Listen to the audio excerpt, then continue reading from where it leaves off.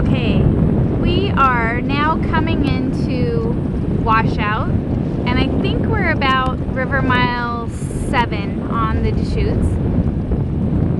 So this uh, this is a newly formed rapid. Well, not new now, but uh, this rapid was formed in 1995 when a culvert broke loose up on this property. You can see here, up on this property, and there was a huge rainstorm, and the culvert broke, and it washed these boulders down into the river and created this awesome, fun rapid called Washout.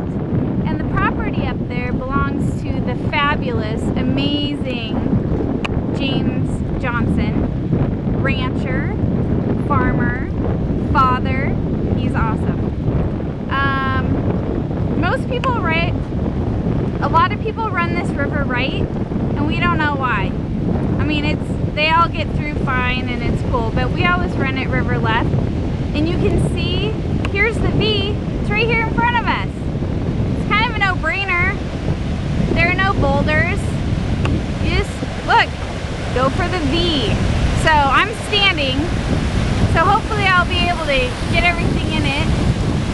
Hopefully my dog won't do something weird. There's the tip of our boat.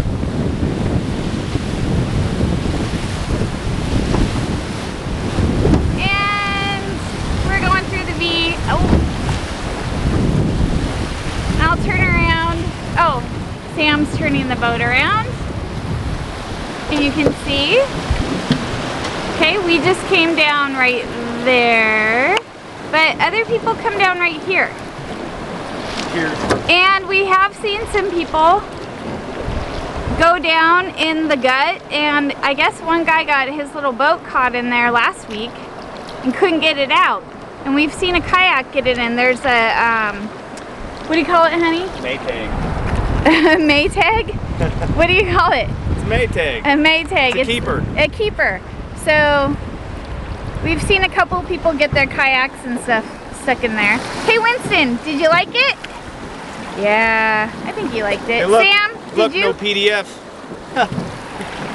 What's that mean? Okay. So there you go.